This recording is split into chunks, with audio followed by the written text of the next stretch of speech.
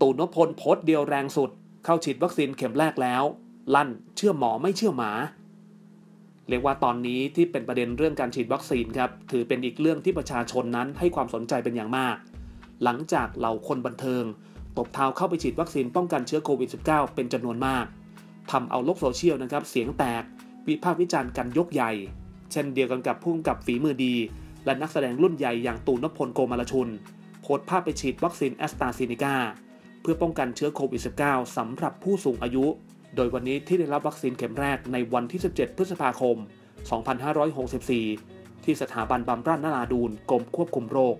โดยผู้กำกับชื่อดังตู่นพพลพร้อมเผยข้อความว่า ขอบคุณแพทย์ พยาบาล และบุคลากรทางการแพทย์ทุกท่าน ที่ให้การดูแลผู้ที่เข้ามาฉีดวัคซีนทุกคนเป็นอย่างดีครับ ผมเชื่อในวัคซีนครับ ผมฉีดแอสตราเซเนกาสำหรับผู้สูงอายุครับ ผมเชื่อหมอครับ และผมไม่เชื่อหมาครับ เรียกว่าโพสต์เดียวของอตู่ นพพลนะครับโพสต์เดียวโพสต์แรงสุดๆ อีกหนึ่งช่องทางข่าวบันเทิงนะครับ ที่คุณจะสามารถติดตาม